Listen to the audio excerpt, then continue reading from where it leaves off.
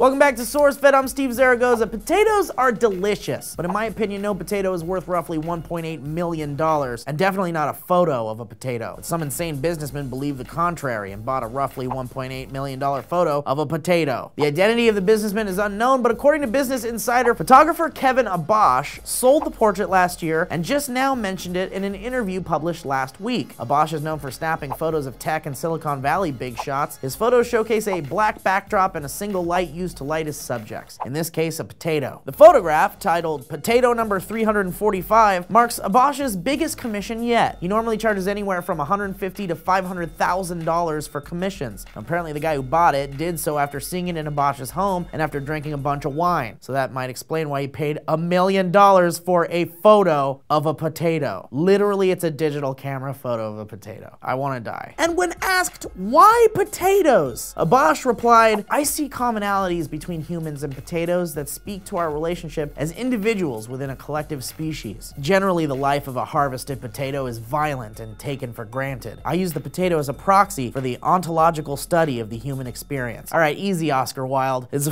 potato, all right? Does anyone want to buy this photo I took of myself standing in front of a mirror wearing a Christmas sweater with my underwear around my ankles? I took it. I'll sell it to you. Look how beautiful that shit looks. The five second rule. Some live by it, others break it. Me, I don't let rules get in the way of myself and a good snack. I once left a hamburger on the ground for 72 hours before picking it back up and eating it. Look at me now. But does the five second rule actually scientifically make sense? For those of you who live under a goddamn rock or don't know how to read, the five second rule is a rule that pertains to dropping food on the ground. If picked up within five seconds, it's still good to eat. Any more than that though, and it's deemed dangerous, poison, garbage, or just too gross to eat in front of your friends. But according to science, this rule actually makes sense. NASA engineer Mark Rober made a video of himself offering cookies to random people, but dropped them on the ground before they could grab one. The results?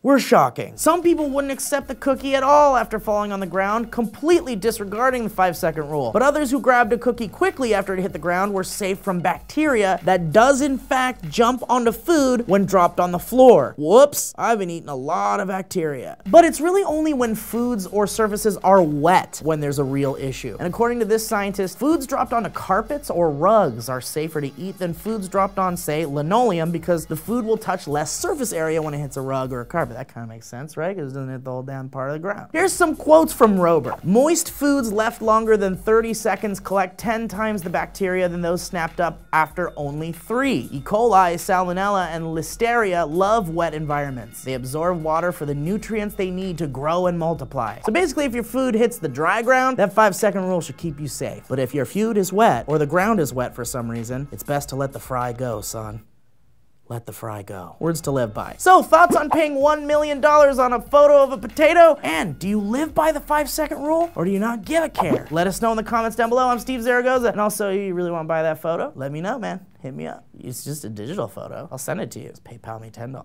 Shit, man, I already got some sales. Just kidding, that's not how that works. okay. What's going on? Thank you so much, Phil, for coming on the podcast. I love it. We've been begging you for weeks. We Thank you.